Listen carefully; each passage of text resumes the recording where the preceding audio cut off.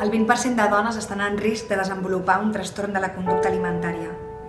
Posar límits és una manera de respectar-te. Tens dret a dir prou. I tu què penses fer?